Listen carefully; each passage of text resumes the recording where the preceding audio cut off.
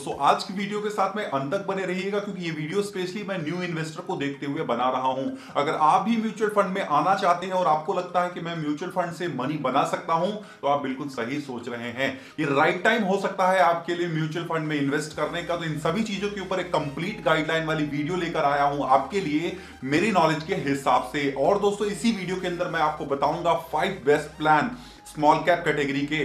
जो दोस्तों मेरी नज़र में आज भी वो नंबर वन पर हैं और आने वाले टाइम में, क्योंकि स्मॉल कैप जो है वो एक लंबे गोल के लिए लिया जाता है, इसलिए जो स्मॉल कैप मैं आपको बताऊँगा, वो आप अपने पोर्टफोलियो के अंदर नए गोल के लिए चुन सकते हैं। तो वीडियो काफ़ी स्पेशल है, अगर आप भी फ्रेशर इन्वेस्टर हैं या फिर आप जानना चाहते हैं कि इस टाइम मेरी recommendation five best small cap के लिए या मिड कैप के लिए कौन सी होगी तो वीडियो के साथ में अंत तक बने रहिएगा। वीडियो स्टार्ट करने से पहले मेरी आपसे रिक्वेस्ट है चैनल को सब्सक्राइब बटन दबा करके घंटी ज़रूर दबाइएगा, तभी मेरे द्वारा बनाई गई वीडियोस की नोटिफिकेशन आपको हमेशा आती रहेगी। तो ज़्यादा आपका टाइम नहीं लेंगे, आइए फटाफट शुरू करते हैं। नमस्कार दोस्तों, मैं हूँ अभिजीत और आप देख रहे हैं हमारे यूट्यूब चैनल मनी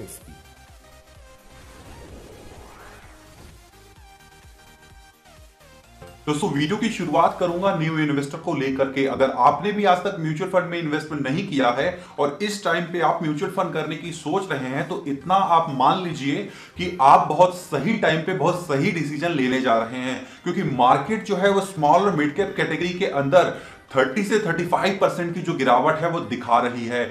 और मैं इतना आपको गांठ बाँध करके बोल देता हूँ कि अभी यहाँ से और जो है थोड़ा सा और नीचे जाने की उम्मीद है। और उसके बाद जो है मार्केट जो है वो स्टेबल होगी और वहाँ से जो दोबारा चढ़ाई करेगी। तो आप जिस टाइम पे सोच रहे हैं, ये जो टाइम है, ये काफ़ी बेहतरीन अपॉर्चुनिटी हो सकती है आपके लिए। अगर आप इस टाइम पे म्यूचुअल फंड शुरू करना चाहते हैं तो सबसे अच्छी रिकमेंडेशन मेरे अकॉर्डिंग रहेगी, जितना मेरे मेरे पास एक्सपीरियंस है म्यूचुअल फंड का, उसके हिसाब से आपको इस टाइम पे एसआईपी शुरू करनी चाहिए। अगर आप एक मोटी रकम लगाने की सोच रहे हैं तो थोड़ा सा सावधान हो जाइए। ये पूरी गाइडलाइन मैं न्यू इन्वेस्टर को दे रहा हूँ, बाकी भी इससे सबक ले सकते हैं। तो अगर आप फ्रेशर हैं, आप नए नए आ रहे हैं, और आपको ये लगता है कि एल इमर्जिंग बिज़नेस या एस का स्मॉल कैप 82 देता है, और मैं लगाऊँगा इस टाइम पर 10 लाख रुपए, और और मुझे जो है पर एक लाख रुपए पे 82 परसेंट का रिटर्न मिल जाएगा तो थोड़ा सा रुक जाइए। इस तरह से इन्वेस्टमेंट नहीं होती है। किसी भी प्लान के रिटर्न को देख करके म्यूचुअल फंड में आप बिल्कुल एग्रेसिव होकर के आ जाएँगे और वहाँ से म्यूचुअल फंड थोड़ी और नीचे खसक जाएगी तो आपको बहुत बड़ा नुकसान भी हो सकता है। इसीलिए म्यूचुअल फंड के अंदर उतरने से पहले एक न्यू इन्वेस्टर को अपना गोल बनाना चाहिए। अगर आपका गोल तय है कि आपने आज से 10 साल के बाद में एक 50 लाख का मकान खरीदना है तो वो 50 लाख रुपए आपका गोल है। अभी आपको देखना यह है कि आप अपनी इनकम के हिसाब से जो इन्वेस्टमेंट कर रहे हैं, जिस भी फंड में आप फिक्स डिपॉजिट में कर रहे हैं एल को इन्वेस्टमेंट समझ के कर रहे हैं, क्या वहाँ से 10 साल के बाद 50 लाख रुपए निकल पाएँगे? अगर नहीं निकल पाएँगे तो आपको अपने प्लान को चेंज करने की ज़रूरत है। इसका मतलब यह है, आप म्यूचुअल फंड में अपने गोल को देखते हुए प्लान का चुनाव करें। बहुत सारी वीडियो में मैं इसका ज़िक्र करता रहता हूँ। और दोस्तों, आपने क्या करना है कि आपने इस टाइम पे एस करनी है। स्मॉल और मिड कैप में बहुत बड़ी गिरावट देखी जा रही है। तो अगर आप स्मॉल और मिड कैप से इस टाइम कतराते भी थे तो ये टाइम आपके लिए एक अच्छा टाइम हो सकता है स्मॉल और मिड कैप में एंटर होने के लिए। क्योंकि 35 परसेंट की गिरावट अभी चल रही है। एसआईपी से आइए। अगर आप एक मोटी रकम लेकर आना चाहते हैं तो मेरी रिकमेंडेशन आपके लिए ये रहेगी कि एक दो महीने और रुक जाइए, थोड़ा सा और देख लीजिए। मार्केट अभी स्टेबल होगी और स्टेबल होने के बाद लहरा करके सीधा ऊपर की तरफ़ छलांग मारेगी। क्योंकि मार्केट जो है, वो बिल्कुल एक, कह लीजिए कि गोली की तरह नीचे गिरी है और मेरे हिसाब से जब चढ़ाई करेगी तो कम से कम 45 डिग्री का एंगल तो बनेगा ही। तो अच्छा ग्रोथ आपको देखने के लिए मिल सकता है आने वाले कुछ महीनों के अंदर। तो अगर आप एक मोटी रकम लगाना चाहते हैं तो मैं बोलूँगा थोड़ा सा रुक जाइए। एसआईपी करने के लिए आपके लिए बहुत अच्छा ऑप्शन है। स्टार्ट करिए एक बैलेंस फंड और एक स्मॉलर मिड कैप टाइप के फंड से। दो फंड लीजिए, ज़्यादा मत लीजिए। कोशिश करिए कि ये एक बिगिनर की स्टार्टिंग इस तरह से ही हो। एक स्मॉल कैप ले लिया। अगर आपके पास पैसा ज़्यादा है लाइक पंद्रह बीस हज़ार रुपए लगाना चाहते हैं तो एक स्मॉल कैप ले लीजिए, एक बैलेंस फंड ले लीजिए। अगर आपका टैक्स कटता है तो आप एक ईएलएसएस e फंड ले लीजिए। और अगर आप लेना चाहते हैं तो ज़्यादा से ज़्यादा आप कुछ मत करिए, एक मल्टी कैप ले लीजिए। आपका पोर्टफोलियो कंप्लीट हो जाता है। मैं दोस्तों बेस्ट फंड के ऊपर वीडियो कंटिन्यू बनाता रहता हूँ, और इस वीडियो के एंड में मैं आपको फाइव बेस्ट फंड बताने वाला हूँ। तो मेरी रिकमेंडेशन ये रहेगी, मोटी रकम को लेकर के कि अभी कुछ महीने रुक जाइए। अभी आप उस मोटी रकम को क्या करिए, किसी लिक्विड फंड में प्लेस कर दीजिए। लिक्विड लिक्विड फंड में प्लेस करने के बाद जब आपको लगे कि हाँ मार्केट स्टेबल हो रही है बीच बीच में मैं भी आपको अप टू डेट करता रहता हूँ।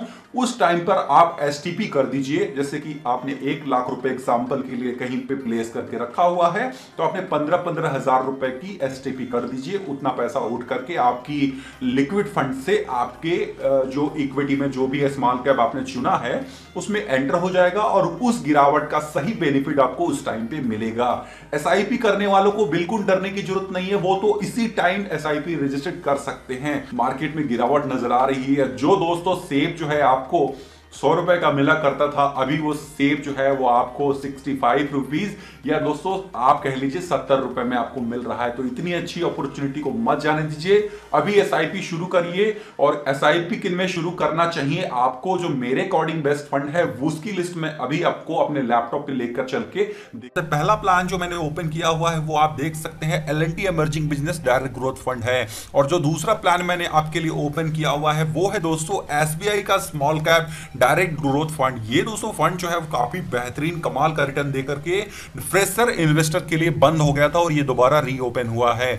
थर्ड प्लान दोस्तों जो मैं आपके लिए लेकर आया हूँ, वो है दोस्तों रिलायंस का स्मॉल कैप फंड ये दोस्तों काफ़ी बेहतरीन रिटर्न दे रहा है पिछले कुछ साल से। अगर टॉप फाइव फंड का जब भी ये ज़िक्र आता है तो इस रिलायंस स्मॉल कैप का नाम ज़रूर सामने निकल के आता है।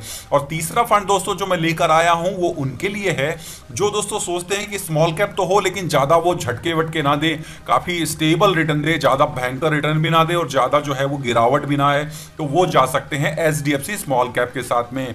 HDFC स्मॉल कैप जो है वो काफ़ी स्टेबल रिटर्न देने के लिए माना जाता है। स्मॉल कैप कैटेगरी में। वैसे स्मॉल कैप तो दोस्तों एग्रेसिव ही माने जाते हैं। आपको झटके तो मिलेंगे, मगर अदर्स से आपको थोड़ा सा कम मिलेंगे।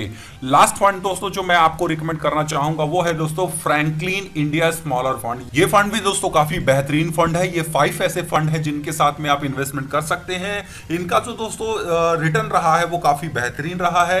अगर आप एलएनटी वाले की एनएवी की बात करेंगे नेट एसेट वैल्यू की तो आप यहाँ पे देख सकते हैं। 24.845 यहाँ पर आपको नज़र आ जाएगा। एसबीआई का अगर आप देखेंगे तो 51.425 यहाँ पर लिखा हुआ है। और अगर रिलायंस का आप यहाँ पे देखने के लिए जाएँगे तो यहाँ पर 40.78 आपको यहाँ पर लिखा हुआ मिल जाएगा। एच का भी आप देख सकते हैं 43.540 है। और फ्रैंकलिन इंडिया स्मॉलर का देखेंगे तो 54.061 दिखाएगा। और दोस्तों, ये पाँचों फंड काफ़ी बेहतरीन रिटर्न दे रहे हैं पिछले कुछ सालों से। अभी बात कर लेते हैं इन पाँचों फंड के पिछले कुछ रिटर्न्स के बारे में, जो दोस्तों काफ़ी इंपॉर्टेंट है। मैंने दोस्तों कई वीडियो में इन पाँचों फंड के ऊपर बात किए हैं, लेकिन आज बिगनर की बात थी तो दोस्तों इन इन पाँचों को शामिल करना ज़रूरी था। और दोस्तों अभी मैं बात कर लेता हूँ इनके रिटर्न के बारे में तो आप देख सकते हैं मेरे डिस्प्ले पे कि जो एल एमर्जिंग बिज़नेस है, वो अभी वन ईयर से बुरा हाल चल रहा है। वैसे बुरा हाल तो सभी म्यूचुअल फंड का चल रहा है, लेकिन इस फंड का भी काफ़ी बुरा हाल है, आप देख सकते हैं। और ये दोस्तों एल एमर्जिंग बिज़नेस का जो वन ईयर का रिटर्न आपको दिखाई दे रहा है वो माइनस में दिखाई दे रहा। है वैसे ये जो है, ये माइनस थर्टी डिग्री थर्टी के आसपास चल रहा है। अभी तक इस टाइम पर जो रिटर्न आपको दिखाई दे रहा है। और दोस्तों, जो थ्री ईयर्स का रिटर्न है, दोस्तों, वो आप देख सकते हैं, यहाँ पर 18.10 परसेंट है और फाइव ईयर्स फंड को कंप्लीट नहीं हुए हैं। इसीलिए कई लोग इस फंड से कतराते भी हैं, लेकिन आपको सोचने वाली बात है, हर फंड एक दिन नया ही होता है और धीरे धीरे जो अब आपका ट्रस्ट और विश्वास मिलता है तो वो फंड पुराना होता चला जाता है। उसके बाद आप देख सकते हैं, यहाँ पर एच स्मॉल कैप जो है, जैसा मैंने आपको बताया कि अगर आप एक स्टेबल रिटर्न चाहते हैं, आपको लगता है कि मुझे ऐसे फंड के साथ में रहना है जो बहुत बेहतरीन रिटर्न ना दे, लेकिन हाँ एक स्टेबल रिटर्न मुझे मिलता रहे तो एच स्मॉल कैप का नाम आ जाता है सेकेंड नंबर पर आप देख सकते हैं। उसके बाद आपको देखने के लिए मिलेगा एस स्मॉल कैप का रिटर्न आप देख सकते हैं। ये जो पाँचों फंड बताए हैं, यहाँ पे पाँचों मैंने पिक किए हुए हैं, और जो एसबीआई का स्मॉल कैप है, उसका जो रिटर्न आपको नज़र आ रहा है, आप देख सकते हैं माइनस में दिखा रहा है, यहाँ पे minus three point nine zero दिखा रहा है, और जो थ्री ईयर का रिटर्न दिखा रहा है, दोस्तों, वो आप देख सकते हैं fifteen point three six percent दिखा रहा है, लेकिन जो फाइव ईयर का रिटर्न है, वो थर्टी परसेंट दिखा रहा है। तो ये कुछ लंबे समय से अच्छा रिटर्न देने वाला फंड है। उसके बाद अगर रिलायंस स्मॉल कैप की बात करेंगे तो ये भी आपको थ्री परसेंट जो है, वो माइनस में दिखा रहा है, और जो थ्री ईयर का रिटर्न था, वो चौदह परसेंट से ऊपर था, और जो फाइव ईयर का रिटर्न है, वो काफ़ी अच्छा है, आप देख सकते हैं। तो लंबे समय में एक अच्छा रिटर्न दिया है इस फंड ने, इसीलिए बहुत सारे लोगों का ट्रस्ट है इस फंड के अंदर। फ्रैंकलिन इंडिया स्मॉलर फंड की अगर बात कर ले तो यहाँ पे आप देख सकते हैं वन ईयर का जो रिटर्न है, वो काफ़ी बुरी हालत में है। लेकिन आप ट्रस्ट मी इस टाइप पे सभी फंडों की हालत बहुत ख़राब है। ये दोस्तों 10 परसेंट माइनस में दिखा रहा है, लेकिन इसको देख करके आप पैनिक मत हुई म्यूचुअल फंड का नेचर ही यही होता है। इसका थ्री ईयर का रिटर्न थोड़ा सा खराब रहा है, लेकिन ये लंबे समय में एक अच्छा रिटर्न देने का पोटेंशियल रखता है।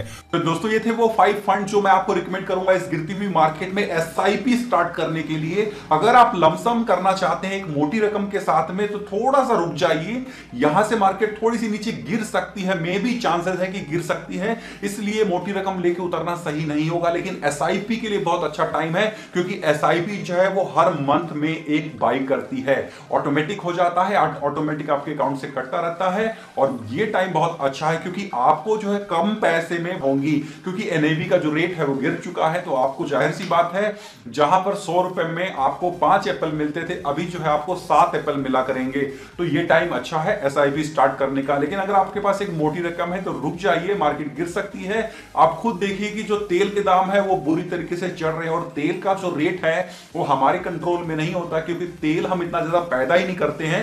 हमको दोस्तों दूसरी कंट्री से इंपोर्ट एक्सपोर्ट के चक्कर में रहना पड़ता है। इसीलिए दोस्तों होता क्या है कि उनके ऊपर डिपेंड करता है। और जो एक बैरल तेल का जो पैसा हमें देना पड़ता है, वो डॉलर में देना पड़ता है। आपने न्यूज़ में भी देख लिया होगा कि अगर एक डॉलर को आप रुपए में देखेंगे तो इस टाइम पे 75 के आसपास जा चुका है। एक यूएस डॉलर जो है वो 75 इंडियन रुपीस के बराबर हो चुका है। तो कहने का मतलब ये है, एक तो तेल का दाम बढ़ता जा रहा है, ऊपर से जो है डॉलर जो है हम पे हावी हो रहा है। तो कई सारे रीजन है, ऊपर से बैंकों के बहुत सारे लफड़े आ गए। तो इन सब चीज़ों को मिला जुला करके आपके ऊपर एक बहुत बड़ा इंपैक्ट पड़ा है म्यूचुअल फंड के ऊपर। और म्यूचुअल फंड जो है, वो पिछले कुछ सालों से बहुत अच्छा परफॉर्म कर दी जा रही थी। तो बहुत ज़बरदस्त रिटर्न मिल रहा था, उम्मीद से ज़्यादा। तो ये तो होना ही था कि मार्केट गिरती एकदम से दड़ाम से गिर गई। तो ये दोस्तों रिकवर भी होगा, वापस मार्केट अपनी लेवल में आएगी। कहने का मतलब ये है। ये दोस्तों वीडियो अगर आपको अच्छी लगी हो तो प्लीज़ इस वीडियो को लाइक कर दीजिएगा। चैनल को सब्सक्राइब नहीं किया है तो प्लीज़ सब्सक्राइब करके घंटी दबा लीजिएगा। और थैंक यू फॉर वॉचिंग जय हिंद बंदे मातरम।